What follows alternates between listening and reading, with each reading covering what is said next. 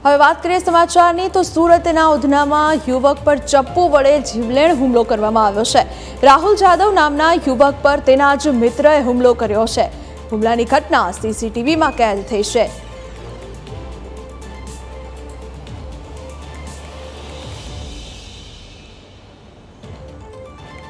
મિત્રો ઓફિસમાં જોઈ રહ્યા હતા ટીવી ત્યારે કિરણ કોળી નામના યુવકે કર્યો હતો હુમલો હુમલામાં રાહુલને ગંભીર ઇજાઓ પહોંચી.